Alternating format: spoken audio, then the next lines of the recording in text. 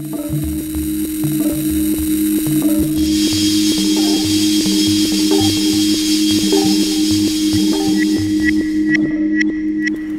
I'm Gesa Ziemer. I'm the director of the City Science Lab in Hamburg.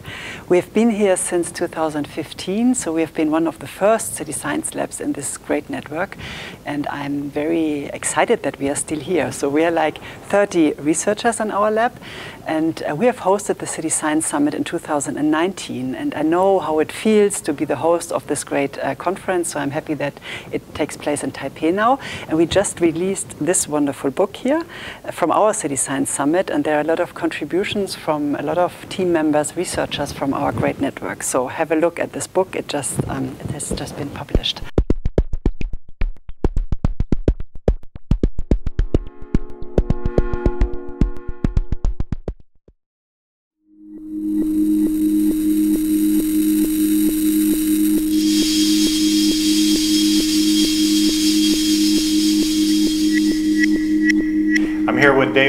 Newman, the new director of the MIT Media Lab. Welcome. Thank to you. To our fifth annual City Science Summit that we call Cities Within. So first of all, what do you see as unique and interesting to you about the Media Lab? Oh, thanks, Kent. I'm so glad to be here. The Media Lab, what drew me in is, uh, I think it's just the most creative, uh, multi, inter, transdisciplinary lab at MIT and then people are pretty action oriented. So we want to be also offering up solutions to, to everyone and with everyone. With, with your work especially, it's the co-creating. Hmm. With respect to your own personal research interests, what are you most passionate about?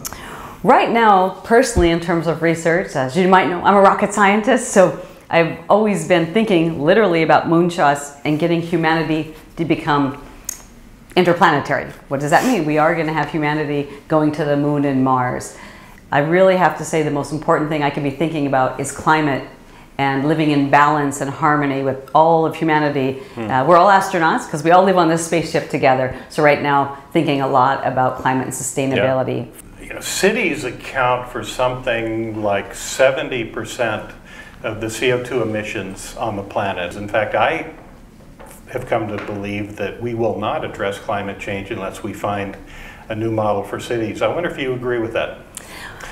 I do because you've you've taught me well, but I love uh, you know how you title it cities within. Yeah. So it really is thinking about within our urban environments, and if there's a billion people now, and that climbs to 3.5 billion, then that's a game changer. So what we do at the Media Lab is how can we have the most societal impact yeah. Well, then this has to be the key to climate because we're talking about billions of people. We are probably at a tipping point. How do we reduce emissions? How do we worry still about quality of life, access, all these things?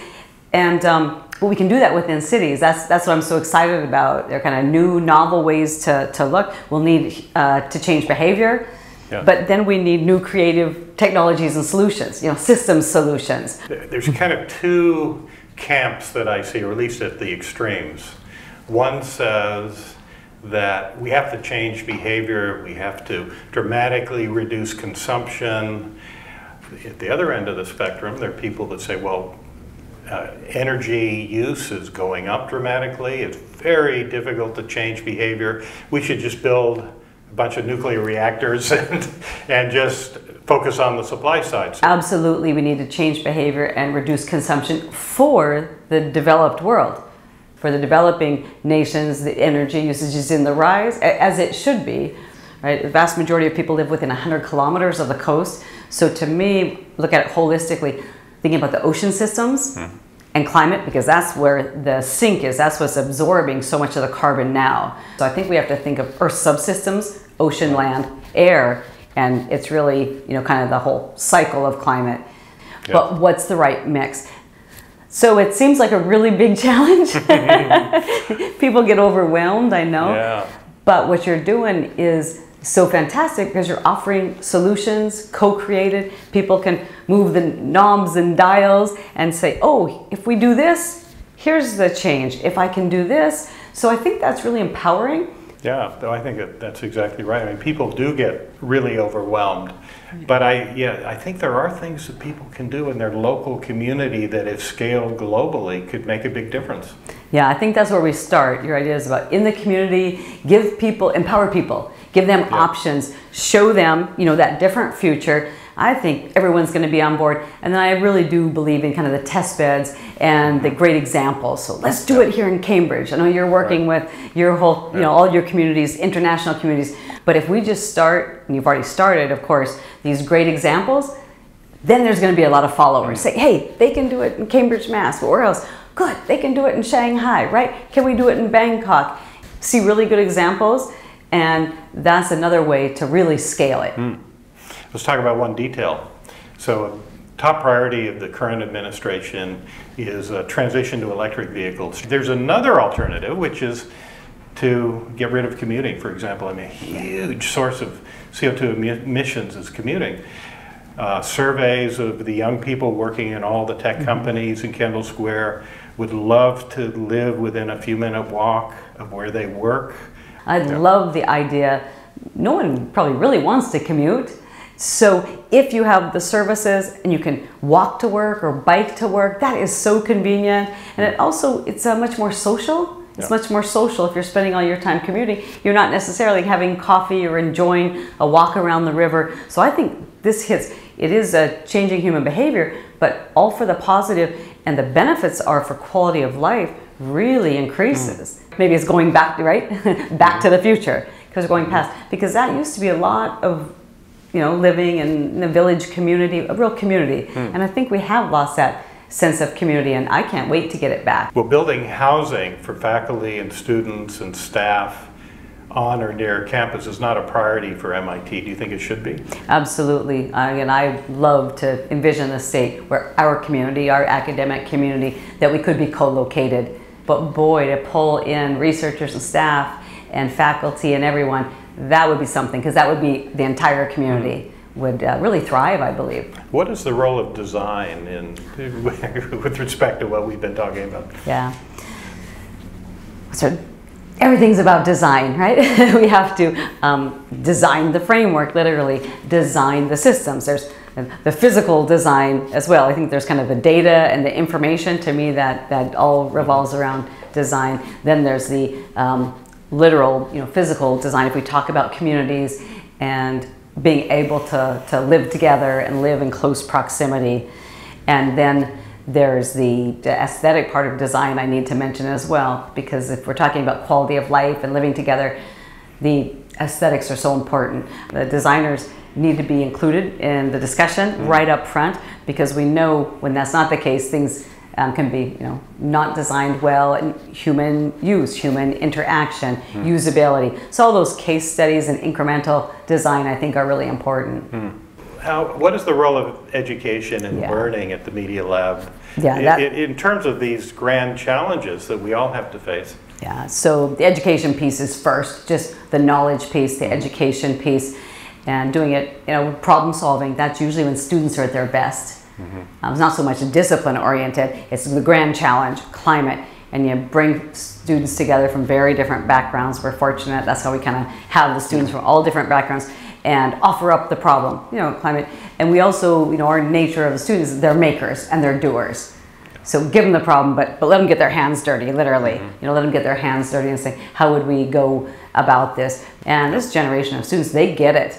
So that's the good news. We're not convincing anyone. Students are usually ahead of us, in my experience. So the students are out there, but we're we're like the coaches. You know, mm-hmm. we're trying to you know say, what about this scenario? What about that scenario? And um, so I'm optimistic. I think that the leadership, climate health, will come from our students. It'll be the you know our students yeah. now, the future generations. It means that we have to help lead now and help facilitate the education, bringing the communities together. Yeah. Mm-hmm.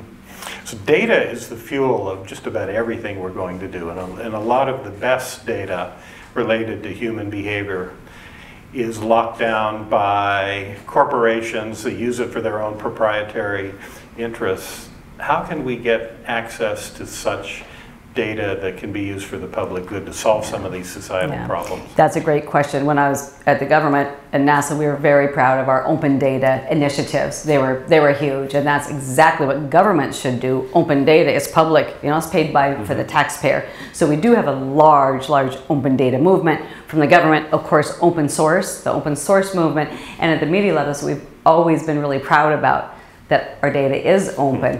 And so I think it is a conversation with industry as well. Let's have that conversation. That's a tough conversation, but let's say we see the Internet of Things, but using the data for the benefit of humanity, and that necessarily means that we want it to be open and open access. And so I think it is incumbent upon us to, to work with our industry colleagues to see where we can, where can, we can get to the happy medium. Surely, I you know envision hybrid systems that are mostly open. 80% open. We're sharing data. All the climate data of course should be shared. Most of it's collected by the government governments world governments. Um, okay if you need to lock down for security and other reasons you might need to lock down a platform but i think that that's 10 20% so I do see really you know platforms that um, really have open data architecture. Problems in places like Boston are challenging enough, but even more challenging, in my opinion, are the billions of people who live in informal settlements without access to housing clean, good housing, clean water, uh, communication, sanitation, etc.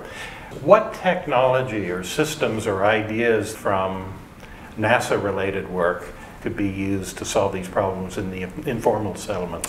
Thanks. It's great to think about informal settlements. Again, this is billions of people, and then it wouldn't be obviously, well, what does space technology have to do with it? But I, it's a- such a great question because some of the solutions to make informal settlements really thrive is not, we know this, it's not to replicate the electrical grid and what we're mm-hmm. doing in other urban environments. So it calls for innovation, calls for us to be really creative because those are probably new solutions. Those are new evolving solutions that work within the informal settlements. So now thinking about space technology and data, say clean water would be my, my first great example. We do you know closed loop life support systems in very confined environments in space on International Space Station, getting ready for Moon and Mars. So water, uh, we need really 100% closed loop systems. So the wa- water filtration, clean water, every liquid up on space station, and I mean every liquid, all your coffee, all your extra, uh, you know everything from the bathroom, all the liquids, those are totally recycled. Guess what? It comes out as drinking water. So just the water filters have been scaled, and the Earth application is fresh water. So you can go in one of the dirtiest, dirtiest rivers or water sources, put it through really advanced filters, and get out clean water. Now your question, how do we scale that? How do we make, how do we democratize it? How do we give that technology to everyone? So I think that some of these technologies though from space are really important for informal settlements because they're small, they're compact, mm-hmm. we have to get them less expensive and we have to make sure we have billions of them. But when we talk about water and power, same thing now when we talk about power generation, it's probably it's not just extending the grid, it's like no, what are the what are the own little microgrids there and what are the power sources? You and I have talked about a lot. Sure, there's renewables and solar works a lot of places, wind works some places, but nuclear, what about, you know, maybe people don't know for space, how do we get to Mars? How do we, we do use nuclear batteries. Mm-hmm. That, that is part of space. And they have to be safe, of course, but these are really high density, powerful, and I think of it as, again, kind of mobile and modular. So you can put things, you can bring things to the places that you need them. So how do we adapt and scale NASA technology to be used for informal settlement? Yeah, well, that's where that's where the commercialization comes in from. A lot of those, uh, even the government patents, a lot of the advanced technology. The great thing about you know for NASA, those those technologies for water filtration, a lot of the sensing, they are open and actually in the tech portal we can just go to, and companies, new startups. Lots of our students, they can come and actually have that technology. A lot of those patents are for free. The government's already paid for them, but um, you know, government doesn't commercialize things, so it's a great opportunity for young entrepreneurs to come along and say, that does look like a great technology, and here's how I would love to use it in, say, our example of the informal settlement. So that's, um, I think, kind of the opportunity that lies ahead of us. Yeah. How do we take some of that technology? How do we commercialize it and scale it, you know, in an affordable fashion? Yeah. Do you think we can do that here at the Media Lab? I hope so. We have a jump start on it with our E14 fund. That's really what we're trying to do. We're trying to take a look at the great ideas from the lab. As soon as uh, you know our students are our alum, and think about, okay, how these are great ideas. You know, we have more great ideas that we can definitely fund, but some of them are going to change the world. Well, climate, back to climate, it's, it's, what do you think is the Media Lab's unique contribution to climate research? I've been thinking about that recently. So, what can the Media Lab do? For the Media Lab specifically, I love uh, you know our idea of the hyper local. So we're we're about the world. We're about serving the world and globally. From my perspective as a space person, the global perspective, we have the satellite data. But then when we get down to it and have a conversation with people, that hyper local. Locally, what can we do? We're showing people lots of different options. You know, moving the sliders, mm-hmm. uh, moving, tweaking the dials, moving the knobs, as I say, and that's really at the local, this hyper local focus. And we have to have the global, holistic perspective to say we're all on this spaceship together. We're all crew. Mm-hmm. You know, my crewmate is is you. My crewmate is in Asia. My crewmate is in Europe. But then when the work gets done, I love uh, again kind of your idea and articulation of the hyper local I think we have this decade to try to mm. get this right. Then 10 years hence, we'll say, yeah, we got, we got that right. You know, we moved the needle. We brought the communities together. We looked within and came up with some of these solutions. So I hope that's on, that's the journey that we're on. Exciting. Yeah. Thank you, Dava. Oh, thank you.